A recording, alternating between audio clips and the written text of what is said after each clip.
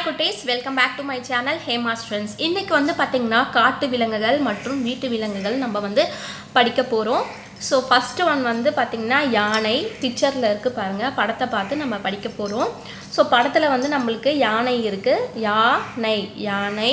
அப்புறம் சிங்கம். சி இங் க இம். சிங்கம்.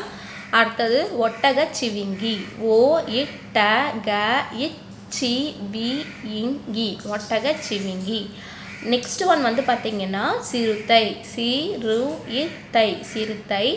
அடுத்தது நரி நரி நரி. அடுத்தது வந்து கரடி கரடி. இங்கே வந்து ஆறு காட்டு விலங்குகள் மட்டும்தான் கொடுத்துருக்குறாங்க. இதை தவிர நிறைய காட்டு விலங்குகள்லாம் இருக்குது. ஸோ இங்கே கொடுத்ததை மட்டும் நான் சொல்லிட்டேன். அடுத்தது வந்து பார்த்திங்கன்னா வீட்டு விலங்குகள். வீட்டு விலங்குகள் வந்து நம்ம வீட்டிலையே வளர்க்குற விலங்குகள் வீட்டு விலங்குகள். அதை தவிர காட்டில் அடர்ந்த மரம் செடிலாம் இருக்குது இல்லைங்களா? அதெல்லாம் காட்டு காட்டில் வளர்கிற விலங்குகள் வந்து காட்டு விலங்குகள். இப்போ வீட்டிலே வந்து நம்ம என்னெல்லாம் வளர்க்க வளர்க்குறோம் அப்படின்னு பார்த்திங்கன்னா பூனை.